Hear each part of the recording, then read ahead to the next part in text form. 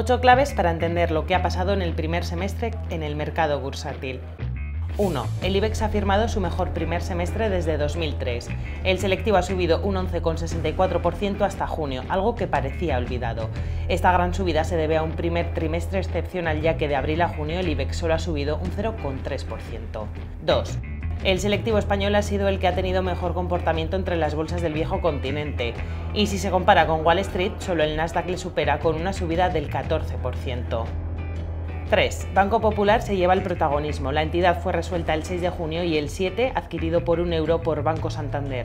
Sus acciones acumulaban una caída del 65%. 4. IAG ha sido el valor más alcista del semestre con una subida del 38%. Le han seguido Banco Sabadell, CaixaBank, AENA y Celnex. 5.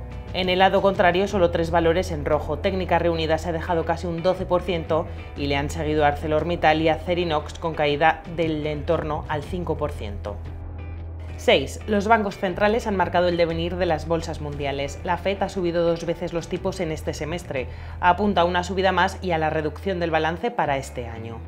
7. El Banco Central Europeo mantiene los tipos en el 0% y continuará con sus estímulos hasta finales de año. Su presidente ha dejado entrever una reducción de los mismos, algo que ha llevado a máximos anuales al euro.